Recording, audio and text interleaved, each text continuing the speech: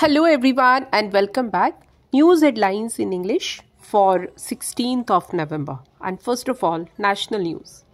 43rd IITF begin at Bharat Mandapam with theme Viksit Bharat 2047. Government committed to zero error entrance exams. Education Minister.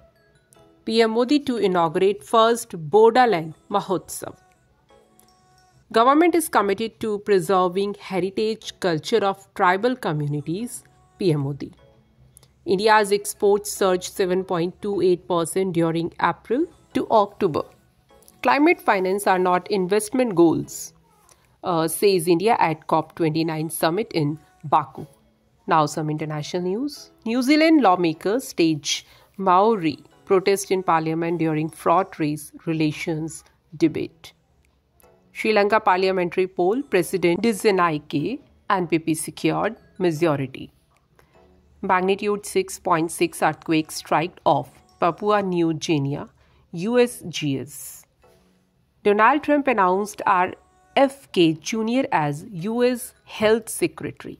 Now, some sports news. ICC put Pakistan Champions Trophy Tour on hold after BCCI's strong objection. IPL 2025 player auction list announced 574 cricketers set to feature with 204 slots available. India refused to send Kabaddi team to Pakistan. Now news related to business. Mercedes-Benz India to increase prices by up to 3% from January 2025.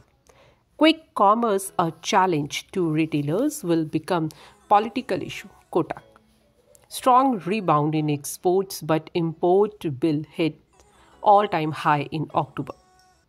More cuts in domestic gas supply to CNG firms. IGL said profitability to take hit. And that's all in news. Thank you.